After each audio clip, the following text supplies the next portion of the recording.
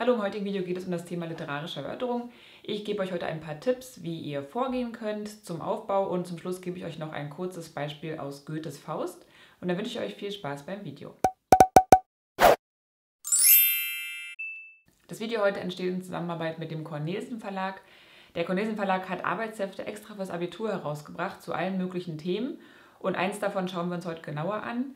Wenn ihr zu Hause noch üben wollt, fürs Abitur zum Beispiel, dann kann ich euch die wirklich ans Herz legen. Ihr könnt die Epochen nochmal wiederholen oder gattungsspezifisches Wissen nochmal nachschlagen. Und ihr habt vertiefende Übungen zu allen gängigen Aufsatzformen und zwar anhand von der Literatur, die auch im Abitur relevant sind, also Texte von Fontane, von Brecht, von Goethe und so weiter. Und der Verlag war so nett, uns heute ein paar von den Heften zur Verfügung zu stellen, damit ich die an euch verlosen kann. Und wenn ihr eins dieser Hefte gewinnen wollt, dann gebt ihr dem Video hier einfach einen Daumen hoch und schreibt mir in die Kommentare, welche Ziele ihr nach dem Schulabschluss verfolgt. Alle Arbeitshefte, die es vom Cornesen Verlag fürs Abitur so gibt, verlinke ich euch unten in der Infobox, dann kommt ihr direkt hin und dann geht es jetzt auch schon los mit dem Video. So, was ist überhaupt eine literarische Erörterung? Die Definition dafür ist von Bundesland zu Bundesland ein bisschen unterschiedlich, aber alle haben eigentlich gemeint, dass, dass ihr bei der literarischen Erörterung auf Grundlage eines literarischen Textes eine Frage untersuchen sollt. Diese Frage kann auf Grundlage des gesamten literarischen Werkes oder auch nur eines Auszuges beantwortet werden. In manchen Bundesländern ist es auch so, dass ihr einen Text über ein literarisches Werk bekommt und, daran einen Sachverhalt untersuchen sollt. So, als allererstes schauen wir uns die Arbeitsschritte genauer an und dazu benutzen wir das Cornesenheft und gehen da Schritt für Schritt die Schritte, die hier empfohlen werden, durch. Erster Aufgabenschritt ist immer die Aufgabenstellung genau zu verstehen, also lest euch die Aufgabe gründlich durch und achtet auch auf so Teilaspekte, die beachtet werden müssen. Ihr sollt auf jeden Fall herausfiltern, welches die zentrale Fragestellung ist und welche These vielleicht aufgestellt wird. Einfach damit sicher gegangen werden kann, dass ihr genau versteht, was ihr tun sollt und ihr auch alle Teilschritte, die vielleicht in der Aufgabenstellung gefordert sind, mit einbezieht. Zweiter Schritt wäre das erste Textverständnis und dass ihr eigene Ideen zur Aufgabe formuliert. Das heißt, ihr lest euch den Text, die Textvorlage genau durch und schreibt schon mal ganz spontan auf, was euch in Verbindung zur Aufgabe auffällt und welche Ideen und Assoziationen ihr vielleicht habt. Ihr solltet hier immer das Thema der Erörterung schon im Hinterkopf behalten und dazu erste Ideen formulieren, also nicht den Text ganz allgemein, sondern schon so ein bisschen mit Fokus auf die Aufgabe hin untersuchen. Dritter Schritt wäre die Textvorlage zu analysieren und zu interpretieren und dann im Anschluss eigene Argumente zu entwickeln. Ich würde dazu immer empfehlen, dass ihr euch den Text durchlest und vielleicht schon mit verschiedenen Farben markiert, was Pro und was Contra sein könnte. Vielleicht auch nochmal eine extra Farbe für Beispiele oder Zitate, die ihr vielleicht einbringen wollt, die interessant sind. An der Stelle ist manchmal gefordert, dass ihr den Text auch analysiert und interpretiert. Das heißt, wenn das in der Aufgabenstellung drin steht, schaut ihr euch Sprache und Rhetorik, also bestimmte auffällige Stilmittel, genauer an und erwähnt dann, welche Wirkung sie an der Stelle erzielen. Im Anschluss formuliert ihr die Hauptthese und zwar in eigenen Worten und überprüft kritisch, wie ihr zu dieser These steht. Ihr könnt dann schon mal die wichtigsten Argumente herausschreiben und sortieren, zum Beispiel nach Pro und Contra und überprüfen, wie stichhaltig diese Argumente sind. Also sind sie sehr überzeugend oder sind sie eher weniger überzeugend? Habt ihr dafür gute Belege im Text oder sind sie vielleicht doch nur Behauptungen? Vierter Schritt wäre dann einen Schreibplan zu erstellen und den Text zu schreiben. Für den Schreibplan müsst ihr euch zunächst für eine Variante entscheiden. Also wird hier eher eine lineare Erörterung gefragt oder eine dialektische. Wenn es eine dialektische Erörterung ist, müsst ihr entscheiden, wollt ihr eher dieses Ping-Pong-Prinzip machen oder das Sanduhr-Prinzip.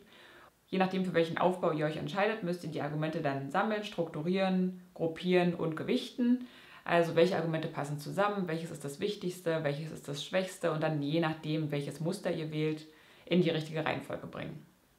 Wenn ihr es noch nicht gemacht habt, wäre es hier dann auch an der Zeit, Beispiele zuzuordnen, um eure Behauptung immer zu belegen und dann eine Gliederung für euren Text zu erstellen. Der letzte Schritt ist dann das Überarbeiten eures Textes. Das heißt, wenn ihr fertig seid, schaut ihr ihn euch nochmal genauer an. Hier im Cornelsenheft haben sie eine Checkliste für die literarische Erörterung, wo ihr nochmal Punkt für Punkt durchgehen könnt, ob ihr alles habt und alles gedacht habt und dann vielleicht Überarbeitungen vornehmen könnt. So, jetzt kommen wir zum Aufbau einer literarischen Erörterung. In der Einleitung schreibt ihr wie bei fast jedem Aufsatz etwas zum Titel, Autor, Entstehungsjahr, zur Epoche und kurz was zur Thematik des Textes. Ich finde es immer ganz schön, wenn dann auch eine Hinführung zum Thema kommt. Das heißt, ihr könnt zum Beispiel einsteigen über die Biografie des Autors oder über sein literarisches Werk. Ihr könnt ein paar Informationen zur Epoche geben oder vielleicht zu dem literarischen Motiv, was ihr untersuchen sollt. Wichtig ist, dass ihr keine Aspekte der Erörterung vorwegnehmt und ich finde es auch sinnvoll, wenn ihr hier einen Punkt auswählt, der auch in der Erörterung Thema sein wird. Ihr könnt hier auch schon einen Überblick über die Vorgehensweise geben, also welche Schritte ihr jetzt im Laufe der Erörterung vornehmen wollt. Im Hauptteil ordnet ihr, wenn ihr einen Textauszug vorliegen habt, diesen Auszug erstmal in den Gesamtzusammenhang des Werkes ein und gebt dann kurz den Inhalt des Textauszuges in eigenen Worten wieder. An dieser Stelle wäre es auch sinnvoll, wenn ihr die These formuliert oder aufstellt und nochmal genau sagt, was jetzt Thema der Erörterung sein wird. Im Anschluss überprüft ihr die These, indem ihr eben Argumente sammelt und diese am Text belegt und entscheidet zum Schluss, ob ihr jetzt der These zustimmt oder sie ablehnt und dementsprechend sind eure Argumente ja auch schon sortiert, wenn ihr vorher den Schreibplan erstellt habt. Beim Aufbau der Argumentation achtet ihr darauf, dass ihr dieses Muster, was ihr vorher gewählt habt, einhaltet. Also entweder eine lineare Erörterung oder ihr habt euch für dieses Ping-Pong- oder Sanduhr-Prinzip entschieden.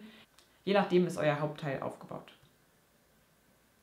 Im Schluss fasst ihr die Ergebnisse nochmal zusammen.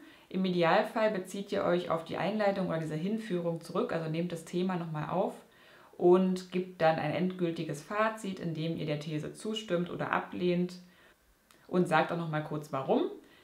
Teilweise ist gefragt, dass ihr so eine Art Ausblick gibt, also wie könnte mit dem Erörterungsthema weiter umgegangen werden, im Werk zum Beispiel. Da müsst ihr aber auf die Aufgabenstellung achten. Jetzt habe ich noch ganz kurz ein Beispiel für euch und zwar aus Goethes Faust. Wir schauen uns erstmal die Beispielaufgabe an. So, ich lese sie kurz vor. Erörtern Sie ausgehend vom Text und vor dem Hintergrund Ihres Wissens über das Drama, ob und inwieweit Faust und Gretchen in der Gretchen-Tragödie im Faust I schuldig werden. Berücksichtigen Sie in Ihren Ausführungen die verschiedenen Ebenen von möglicher Schuld. So, ihr seht ganz klar, erörtern Sie deutet darauf hin, dass es eine literarische Erörterung ist. Grundlage des Textes ist der gesamte Faust I. Und hier gibt es auch Teilaspekte, die man berücksichtigen soll. Und zwar ist hier ein Hinweis auf die verschiedenen Ebenen von möglicher Schuld. Das heißt, da solltet ihr genauer darauf eingehen. Zum Beispiel gesellschaftliche Schuld, moralische Schuld, strafrechtliche Schuld, religiöse Schuld und so weiter. In der Einleitung schreibt ihr natürlich den Einleitungssatz, so wie ich es vorhin erwähnt habe. Und als Hinführung bieten sich hier zum Beispiel folgende Themen an. Man könnte auf Faust als Werk eingehen. Man könnte was zur Biografie Goethe sagen und wie das Werk Faust in sein Lebenswerk einzuordnen ist.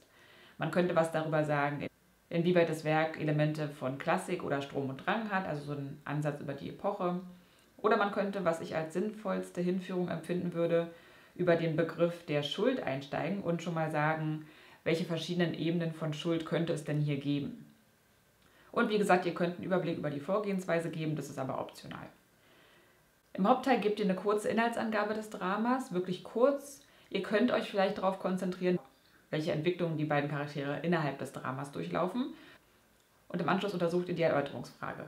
Ich lese euch jetzt nicht alle Punkte hier vor, aber ihr seht, ich habe hier mögliche Punkte für Fausts Schuld und für Gretchens Schuld äh, aufgelistet. Ich setze die auf den Blog, das heißt, wenn ihr die wenn ihr die runterladen wollt, guckt ihr einfach auf www.deutschstundeonline.de. Dort findet ihr die ganzen Folien hier. Was man aber festhalten kann, ist, dass Faust eher moralische und strafrechtliche Schuld auf sich lädt. Gretchen dagegen für gesellschaftliche Schuld, moralische Schuld, religiöse Schuld und auch strafrechtliche Schuld. Und diese Ergebnisse könntet ihr im Schluss zusammenfassend, da habe ich jetzt nochmal aufgelistet, also Faust macht sich zum Beispiel schuldig, weil er dem Drang, die von Gott gesetzten Grenzen zu überwinden, immer weiter nachgeht und dabei sogar über Leichen geht. Und in der Szene im Kerker zum Beispiel sieht man ja auch, er stellt sich seiner Verantwortung nicht, sondern flieht. Also er lässt Gretchen im Kerker zurück und äh, lässt sich auf Mephistos Versuchung wieder ein und äh, stellt sich eben nicht der Verantwortung. Und er glaubt natürlich, er kann mit der Schuld leben. Also er macht sich äh, nicht so viele Sorgen um sein Seelenheil und um sein Gewissen wie Gretchen. Bei Gretchen kann man sagen, sie ist zwar schuldig, aber sie übernimmt wenigstens Verantwortung. Also im Kerker bleibt sie ja zurück und sagt, sie möchte, sie sieht halt Gott als ihren Richter und sie nimmt ihr Schicksal sozusagen an. Und man kann sagen, obwohl sie so jung und naiv und ja auch niederen Standes ist, es zeigt sie hier mehr Größe als Faust, der ja eigentlich so ein gebildeter und höheren Standes ist. Und dass sie Verantwortung für ihre Taten übernimmt, entlastet sie in gewisser Weise sogar und macht sie dadurch nicht weniger schuldig, aber sie übernimmt eben Verantwortung. So, neben dem Zusammenfassen der Ergebnisse könnt ihr im Schluss nochmal Rückbezug auf die Einleitung nehmen. Das heißt, ihr geht nochmal auf den Aspekt der verschiedenen Schuldmöglichkeiten ein und wägt eben ab, ob und inwieweit sie sich schuldig machen. So, das war es auch schon. Ich weiß, es war jetzt eine ganze Menge, aber ich dachte, ich packe mal alles in ein Video, dann habt ihr es schön zusammen. Alle Folien findet ihr, wie gesagt, auf meinem Blog. Und vergesst das Gewinnspiel nicht. Also wenn ihr von Cornelsen die Arbeitshefte gewinnen möchtet, dann einfach einen Daumen hoch hier lassen für das Video und unten einen Kommentar hinterlassen, in dem ihr mir sagt, welche Ziele ihr nach dem Abi verfolgt. Dann sehen wir uns im nächsten Video. Bis dahin. Tschüss.